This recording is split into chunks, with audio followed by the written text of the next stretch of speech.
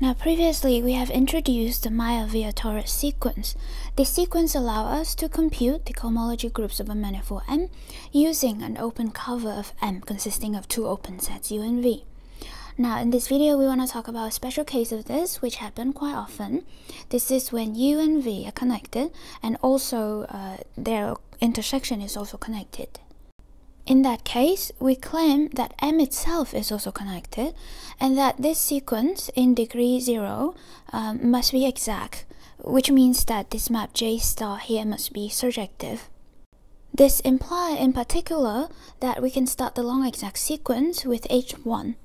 Right, so we have this following sequence, it's gonna be exact. We will use this quite often.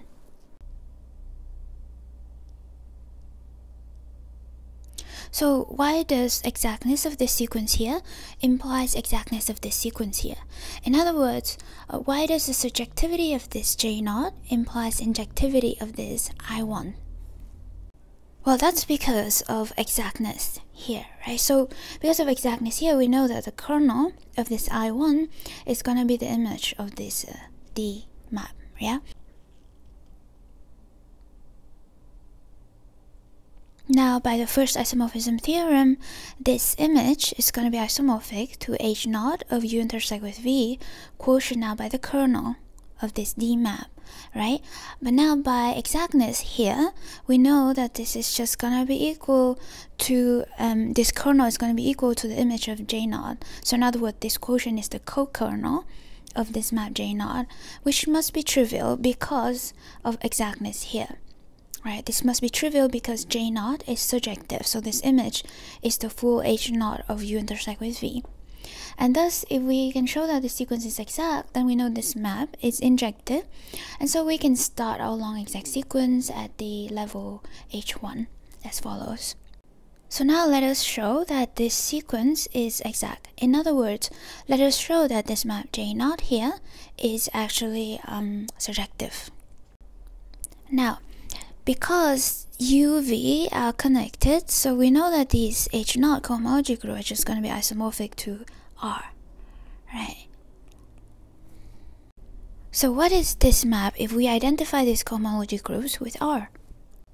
Recall that by definition, this is the difference map, right? So if we identify these with R, then this map sends a pair, A comma B, to the real number B minus A.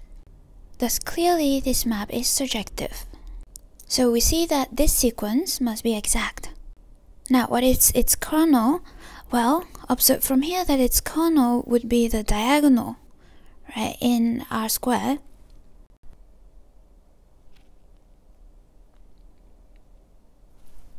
This is the subset of the plane consisting of points of the form A, comma A. Right? In particular, this is isomorphic to R as a vector space. So we see that h naught of m is just going to be isomorphic to r, and thus m must be connected because remember that h naught counts the number of connected component.